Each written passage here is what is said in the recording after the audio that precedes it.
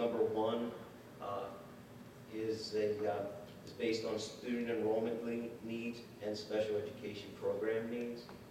Uh, So the, uh, the point eight, English as a second language, point four, music, all based on uh, enrollment needs. The 1.4 high school teachers, uh, based on enrollment needs in the uh, math and business education departments. And at the bottom, the one autistic teacher, the one learning support teacher, and the one autistic support teacher assistant are all based on enrollment within the special education program in the autistic uh, department and the learning support department. Uh, Items with a two are based on student safety or support, or support of current academic programs that are already in place. We have the two part-time security officers, which we spoke about last month, uh, the trainer, uh, which we spoke about, uh, the two individuals needed for technology support, and we are looking at, at, um, at bringing those folks in under a contracted service. Um, Diane's working on that, uh, and that, that looks very promising, that that's how we'll do that, but I wanted to keep them on this list so that we didn't lose them in the, from our discussion.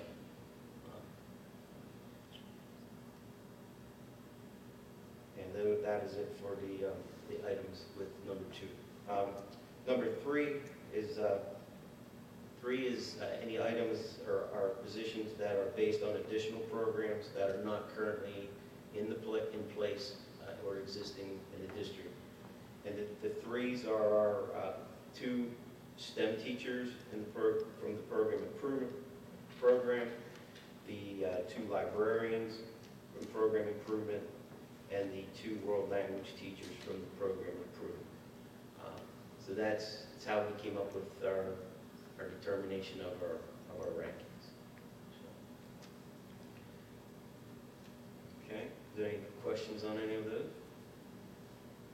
Um, I have a question. It- It's, it's not on here, but we also were talking about getting an SRO, right, a school resource Yes. officer at the high school, so that's not on here. Where is that in the budget? That's in a different place? Yeah, we placed the SRO under the professional services line item last month, um, and it was, um, it was an ad there from, um, it's under the 300 line item, and we added that from our March 14th meeting to our April 11th meeting, we added the, uh, the SRO, so it's still there. Okay, Yep. great, thank you. I- I just wanted to make one, uh, I have one other question. The, as far as the elementary program improvement, um, the STEM teachers need to go along with the world language teachers, correct, in order to make that work? Right, so we can't just pick to say we want one or two or three of them, we'd have to have the four of those go together. Yes, Mrs. Yardley, that would be correct, because they would go opposite Right, each because for the scheduling, we would need all four. Exactly, thank you. All right, thank you.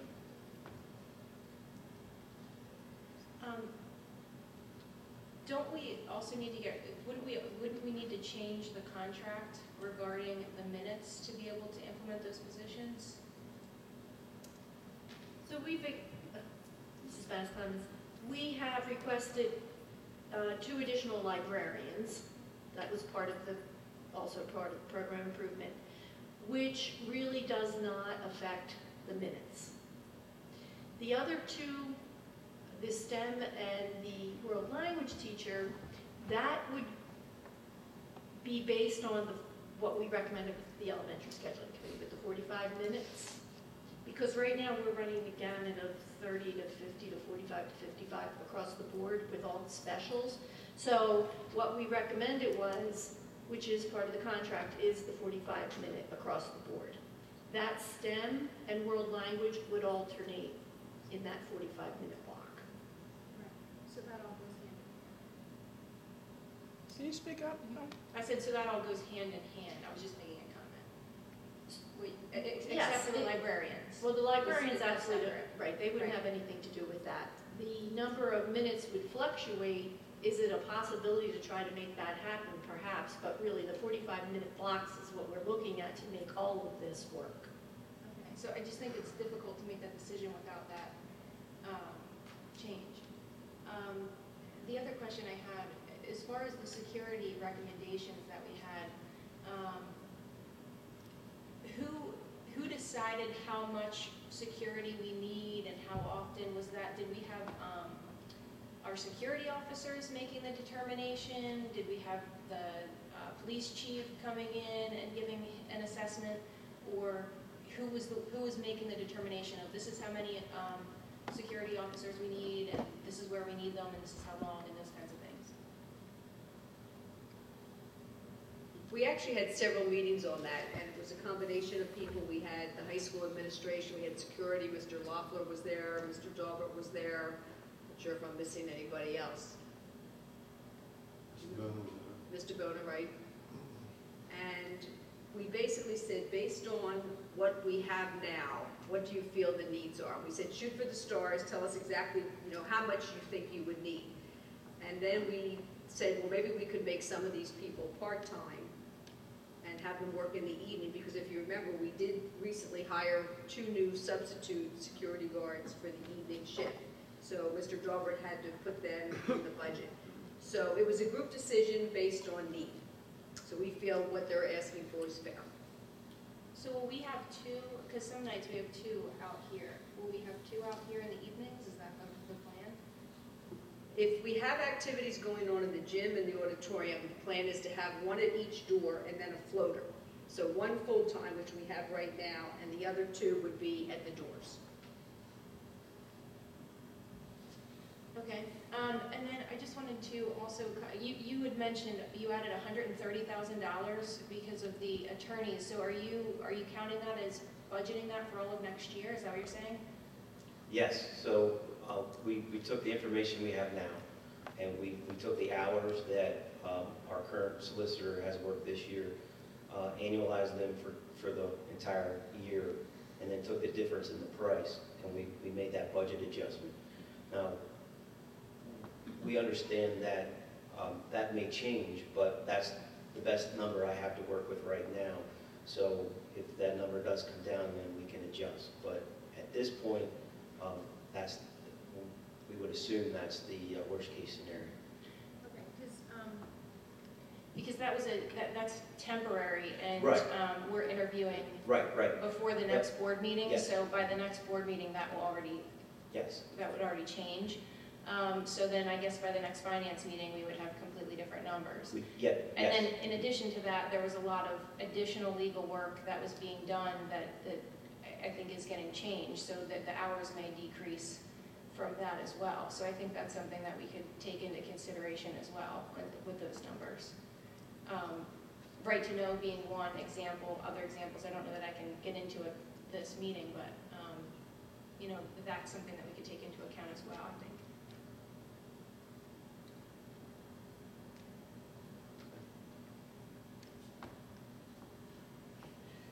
okay, any other questions on the positions at this time? So the next slide is the uh, budget timeline, Uh, again, to show you this each, each month. Uh, PDE uh, is to notify us by May 1st for, with our state allocation, which we should receive in the next few days. Um, We, of course, we're here on May 2nd at our finance meeting.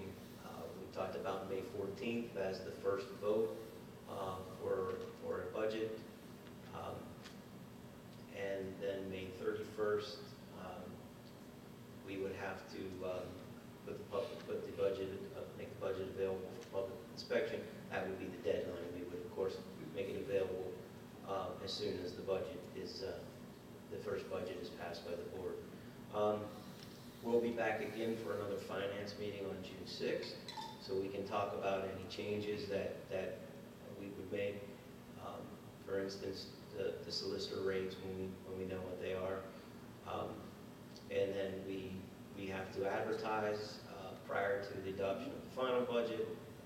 Um, And then our final budget adoption date is June 18th. And that's when we will do the resolutions also for the taxes and the homestead farmstead exclusion and so forth. Um, And then, as soon as that's over, we uh, turn all the um, tax information over to the local tax collectors, and they begin the process of, of of preparing the uh, tax bills to be out in, in the hands of the taxpayers by July 1st. So that's pretty tight timeline, um, June 18th to, and to turn over and have the tax bills out, but, um, so we would, we would definitely want to continue on that, on the timeline we have laid out here, so that we're able to get the tax bills out in a timely, timely basis. The uh, next uh, page, again, we looked at this last, last month, but here's our options at this point. Um, We could keep all the expenditures that we have in the budget. We could choose to balance the budget, and we would do that by um, raising the real estate mill by just over a mill, um, 30, roughly $33.18 to the, to that median assessed value property. Um, We could not raise taxes, and we could use the commitment of fund balance um, in the amount needed to balance the budget.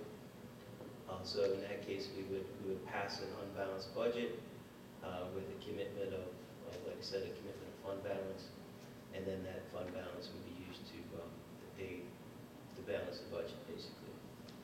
Uh, Third item is we could remove uh, a number of the requested positions um, that are on the list on slide eight the budget. Or the fourth option is to do any combination of those three options listed above.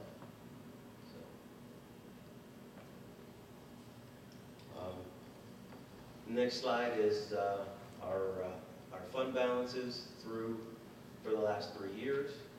Um, Total general fund balance has remained relatively stable, about 16.5 million. It's actually down a little bit from where it was two years ago. And uh, we've just under 18 million in capital funds, capital projects uh, fund.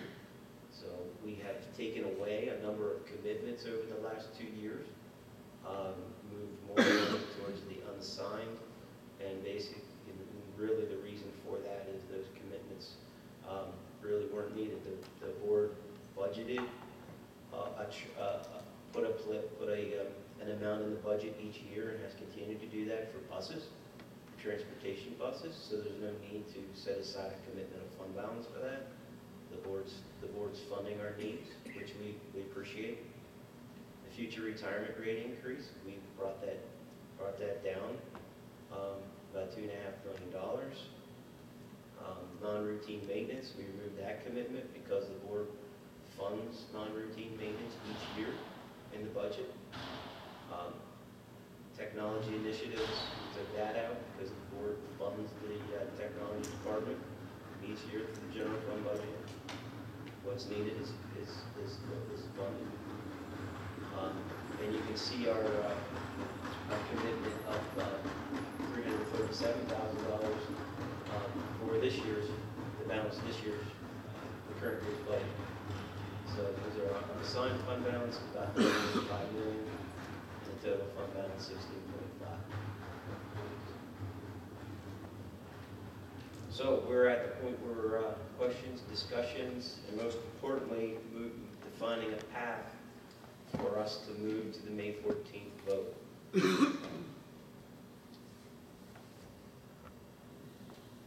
Thank you, Mr. Dover. I want to comment before we start other discussion that um, I believe this budget is in good shape, certainly relative to most budgets at this time of year. Uh, The fact that we're within striking distance of no increase uh, or a small commitment of fund, relatively small commitment of fund balance, I think is a, both a good thing and a sign of uh, the situation that this budget is in. I want to thank you and uh, Dr. Rattigan and the people who work with you for getting this to this point for the board. Um, And I personally want to comment on these positions. I think, um, as Mrs. Banis Clemens said, uh, the contract does contain a table and language which, uh, in the elementary situation, uh, forces us to schedule specials in a very uh, special and specific way, not only by time, but by grade level. It makes it difficult for our uh, principals at the elementary level to schedule. We are in negotiations, and uh, my hope is that we will be able to resolve that during our negotiations uh, to the satisfaction of the administration and the board, as well as, the- I believe, the teachers, at least those who were on our elementary scheduling committee, who believe that this could be improved dramatically with the addition of the STEM uh, teachers and the exploratory language teachers. My preference would be to keep those in the budget, hoping that we can resolve this issue and move forward. And if we don't, uh, and we use fund balances, as I'm guessing we may, to cover the difference between the expenditures and revenues as they're now stated, those numbers simply wouldn't be expended, and that, that value would decrease significantly. It wouldn't go away with four teachers, but it would certainly make a big dent in that $664,000 this year. And I also would like to reiterate that I am not in favor of removing the $53,100 for the program improvement. I think that's a mistake. I also want to make my yearly pitch that I believe librarians are extremely valuable, and we should have one in each elementary school, and they should be there to, you know, teach not just how to use a book or how to use a computer, but also all the skills that are related to media in this day and age. And so I think those positions are very important. They're, they're a loss that we incurred in years past, and we can correct this year without a great deal of pain and suffering. Now's the time. Other comments? Mr. Kraus? Thank you, Dr. Yarnell. Um, Mr. Goldberg, thank you.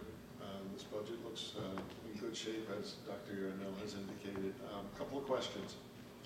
Can, do you, can you tell me where we are revenue versus expenses year-to-date? Are we on the plus side, minus side? Just give me a broad brush. Broad brush, um, we're, we're always ahead revenues to expenses until we get to year end because we, we collect our lion's share of our revenue in the first four months of the, five, six months of the year in the real estate taxes, which is eighty million dollars. So we'll always run ahead.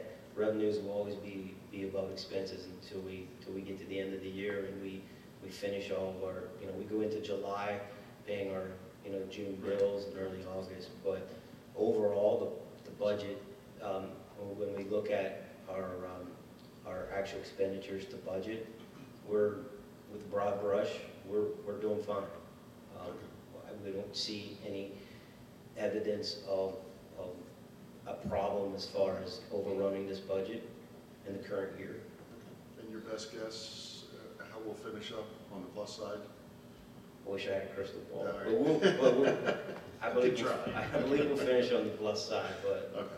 Um, Second question, you'll have to remind me, um, percentage-wise, what is um, our total uncommitted now, currently? we're just under eight percent. We're about seven and a half percent. We're limited by, by law to be eight percent of our budgeted expenditures. Okay. And that was my second question. What, what are we permitted by law? Yep. Okay, Mhm. that's all I have. Thank you. You're welcome. Anyone else? Well, let me give one of my usual rants that I give at this time of year about your comment, how important it is to pass a budget, in this case by June 18th. And as someone who pays taxes to another school district in Pennsylvania, one where I grew up in Centre County, that school district never passes their budget in a timely fashion, presumably because of their dependence upon the state. But in any case, they never pass it in a timely fashion, or- or at least timely enough. So their real estate bills never come out in early July as the ones here do. Uh, And I remember a time when that occurred in this district, and it got us into a cash crunch when we were not well-placed with a fund balance, in it, which was the situation at the time. So the, the bill that I get from the Bellefonte Area School District in central Pennsylvania comes anytime between mid-July and early August. Sometimes they squeeze that discount period and it's the end of September, sometimes it moves another month. It's, in my opinion, not very good fiscal fiduciary responsibility on the part of that school district. Easy for me to say, but I do pay them some taxes, so I guess I get to make that comment from the floor. But I think that it's very important that we pass a budget on May 14th. It, as Mr. Daubert has said, it can and often, not always, but often does change, at least in some small fraction. Maybe we'll know something more by this, from the state by June 18th. I'm certainly not going to bet any of my money or the school district's money on that, but I, that's a possibility. Think it is important that we pass a budget and then come back on the 18th of June and pass the budget. So that's, that's my rant for the evening. Mrs. Yardley? I had a question. Um, Mr. Delbert, I had, at the last meeting, I had asked about the um, future retirement rate increase that's committed in the, um, in the fund balance. And I was just wondering if you had any suggestions, because we have that money sitting there, and we generally haven't used it, because it's, you, we can't just say, let's just use this, right, because it creates a hole in the budget when, when that money is gone. So I was just wondering if you had, in the last month, had any suggestions on a way to use that, that would be financially responsible, but then help, and then maybe help with this, um, the deficit that we have. So with, with the deficit that we have, uh, no, no matter how you plug that, if you plug that in any way other than a recurring revenue source, that will create a hole which will inevitably climb each year. As you saw, we went from three thirty-seven this year, and now we're looking at over six hundred thousand for next year. I would expect that to, to climb again the following year. Um, if, if a, a recurring revenue is not put in place. That, relatively speaking, in the size of our budget, hundred and thirty-five million dollars, six hundred thousand is not even half a percent. So relatively, we're not speaking about a great deal of money. So in, in order to, in order to, to, to answer your first question about plugging the hole, the only way to, to, to plug it completely is to do it with a, recurring revenue, or, or you cut other expenditures in the budget. Now, the, the, the, the fund balance that is set aside for, for the retirement increases, many districts did this, um, a number of years ago, uh, when the retirement rate started to climb. And they put money away and they committed it to fund balance for retirement. The goal, the goal though, from, from my standpoint as a, as a very conservative business administrator, is to, is to find a way to fund that every year within the budget and to not, and to plug that hole and, and to not rely on a, a source of revenue that's not recurring or renewing in order to plug those holes. So what you could, what we could do with, for six, for, for six hundred thousand dollars this year, if we wanted to, to, to use a commitment of fund balance, we could, we could pull from that six million dollars. Okay? But that doesn't answer our recurring ongoing question that eventually at some point, you know, we'll have to settle. And, and, you know, maybe that's another year down the road where it's, it's now, you know, a mill and a half, and we, we put a mill and a half of tax on, you know, not three mills of tax to, to, to plug that gap. Uh, so we're very lucky here that we have the reserves that we could, we could do that for a year or two. There's other things you could do with that money. Uh, it could be used for capital projects.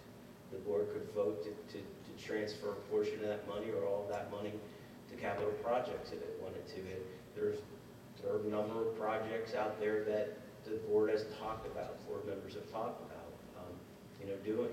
They're, they're big projects. Um, So there, there's, a- those, those are the, the real options that, that I see you know, for use of those funds. Right, So it could be something like air conditioning the elementary schools, something like that, to Something use like- that money, if we transferred it. Um, What about, it was mentioned at the last meeting, uh, you know, suggestions that our debt service is going, is going to drop significantly within about six years? Six years. Yeah, Mhm. so was there anything, I mean, would you consider looking at that, like, as an, as an offset to using this money towards I mean, is that how you would look at it, or are they just completely separate and you need to keep them separate?